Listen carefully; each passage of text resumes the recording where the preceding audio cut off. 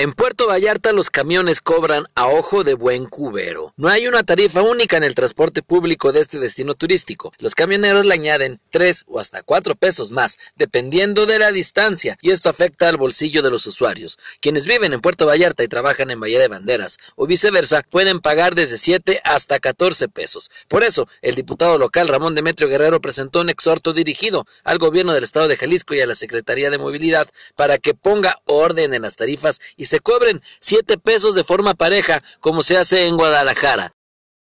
No, es que quien está en la obligatoriedad de hacer o emprender las acciones legales es el Ejecutivo, porque son sus atribuciones, y en ese sentido estoy pidiendo que el gobernador intervenga y el secretario de Movilidad para que puedan eh, normalizar la operación del transporte público en esta zona metropolitana de Puerto Vallarta de Banderas. Diputado, antes de esta disposición, eh, ¿se cobraba la tarifa de manera diferenciada?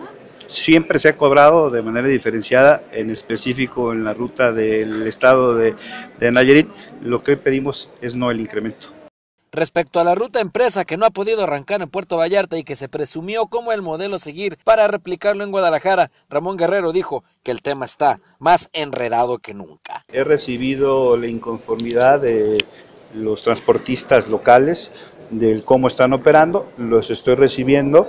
Una vez que tenga la información, estaré dando el pronunciamiento pero sí lo que debo decir es que hay un enredo eminente en el tema de operación. No hay fecha de operar, ¿verdad? Según todo esto se está retrasando cada Así vez es. más la fecha. Sí, y la desconfianza de los transportistas locales es que va dirigido a unos cuantos y va a desplazar a la mayoría.